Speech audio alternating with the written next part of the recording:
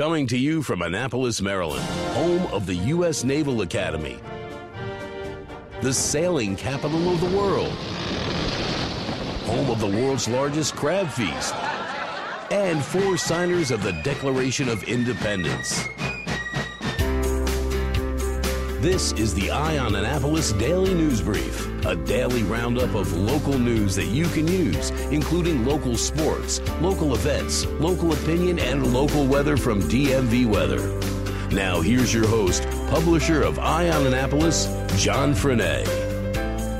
Good morning. It is Tuesday, January 23rd. This is John Frenaye, and this is your Eye on Annapolis Daily News Brief.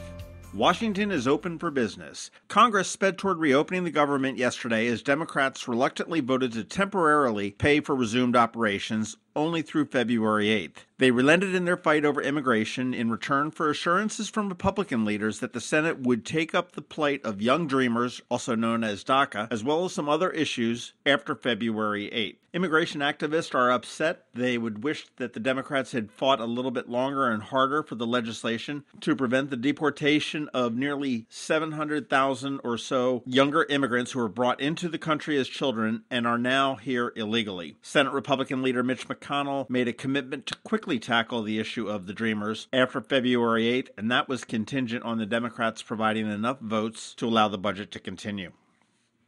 Maryland Governor Larry Hogan announced a package of state income, property, sales tax credits, and exemptions in hopes to land Amazon's second headquarters here in Maryland. Montgomery County made Amazon's shortlist of 20 finalists. The $5 billion package includes a state income tax credit equivalent to 5.75% of wages for each new qualifying headquarters job, a state and local property tax credit, and a state sales and use tax exemption. The law, dubbed the Prime Act, will apply pretty much to Amazon only because it's got some pretty specific criteria. Must be a Fortune 100 company, must be a new headquarters in the state of Maryland. Employees must earn an average of at least $100,000 per year. The company must also commit to spending 5 billion in capital across 17 years, 500 million in initial project cost and employ at least 40,000 people during that 17 year span. In a statement, Hogan said HQ2 is the single greatest economic development opportunity in a generation, and we are committing all of the resources we have to bring it home to Maryland.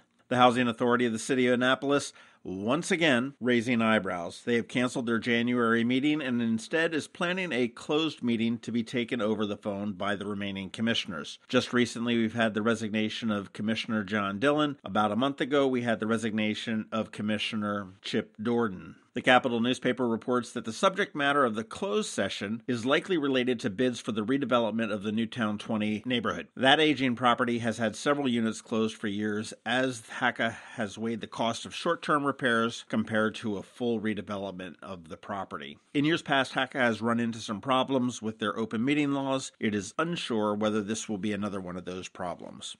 Alan Hyatt, a local attorney that tends to work with a lot of developers, has filed suit against the city in Anne Arundel County Circuit Court, claiming that the law they adopted in October requiring developers to hold community meetings prior to submitting any plans is flawed.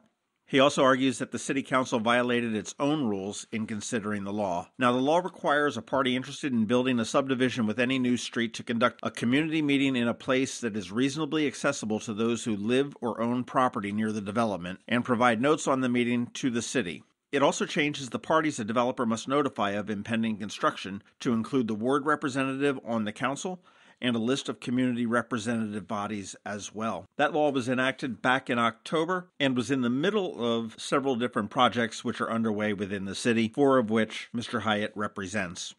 Mayor Buckley talked to the Capital newspaper this week and said he has a new music festival coming to Annapolis this year. The music festival will be called Annapolis Rising and it will take place for three days on the college campus of St. John's. It'll be September 21st, 22nd, and 23rd, and the festival will honor a few of St. John's musical alumni Atlantic Records founder Ahmet Ertegun, Elektra Records founder Jac Holzman, and the author of the Star Spangled Banner, Francis Scott Key. The Annapolis Symphony Orchestra is going to perform songs from the two recording labels on the festival's first night. Saturday will feature the main acts of the festival, followed by a gospel brunch picnic on the lawn on Sunday. Money raised from the festival will go to nonprofits for flood mitigation and a fundraiser for St. John's College.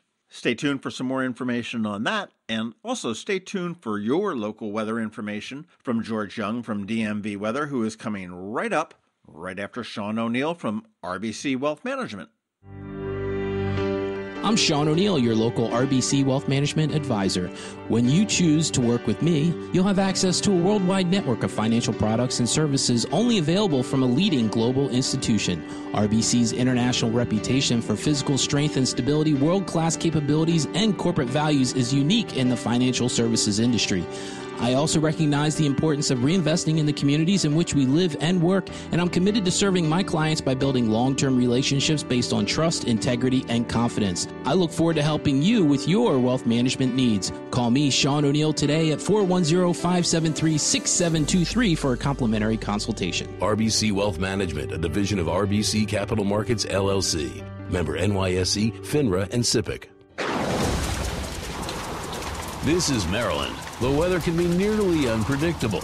We've got George Young from DMV Weather in Annapolis to sort it all out.